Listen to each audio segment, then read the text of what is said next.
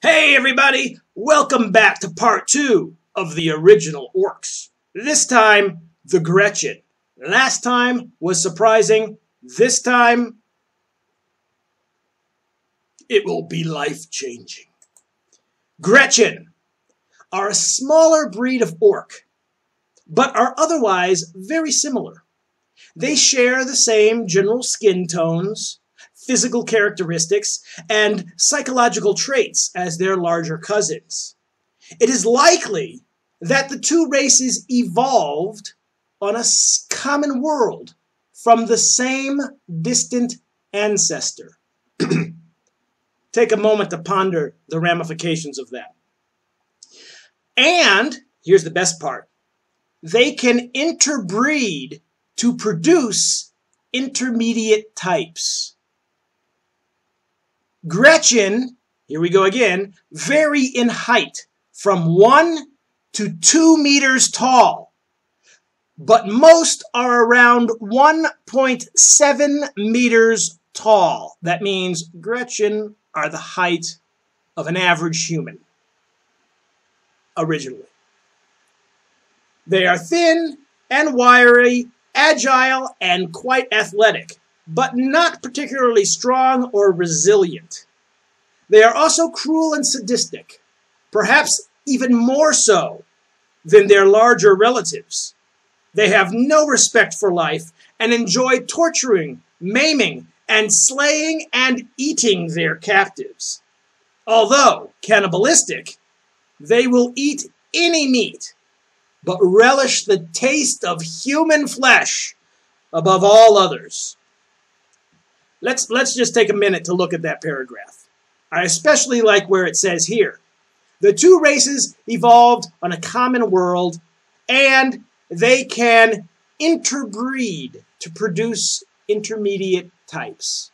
Gretchen and orks were two completely distinct species in Rogue Trader. And on top of that, interbreed. What does that mean?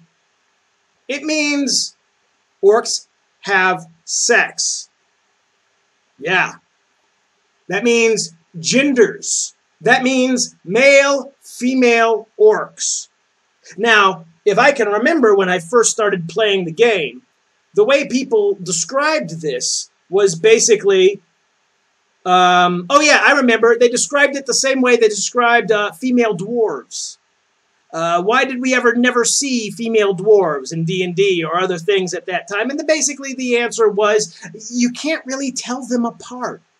Huh? Yeah, basically male and female orks, how the fuck would we know? Uh, they both look the same to us. The, the, the, I remember we, we were talking about at the time that male and female dwarves couldn't really be told apart because they both have beards. now that has changed. But that's what it was originally. It, it gets better.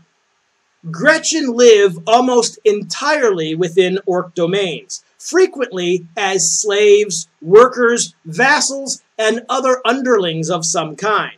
In any case, they form the lowest rank of orkish society. Orks use Gretchen with the same readiness with which a human might use a draft animal with the added bonus that Gretchen make quite passable warriors if lashed often enough. Every ork warlord recruits warriors from amongst his Gretchen workforce, although they are regarded as untrustworthy and expendable. There are a number, and pay attention to this, this is really cool. There are a number of Gretchen worlds and even small empires actually controlled by the Gretchen. And these ape the empires of the orks in almost every respect. Like orks, Gretchen are extremely quarrelsome and will rarely cooperate with others of their kind. You got it? Gretchen, orks, separate.